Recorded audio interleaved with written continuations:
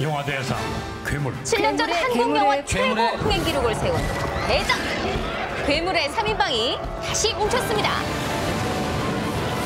그들의 전 세계적인 관심을 받고 있는 설국열차 말이 필요 없는 명품 배우 송강호와 천재야 역에서 어엿한 성인 배우로 돌아온 고하성 그리고 거장 봉준호 감독이 모여 완성한 한국 영화의 새 지평을 열 설국열차의 모든 것 섹션이 포착했습니다.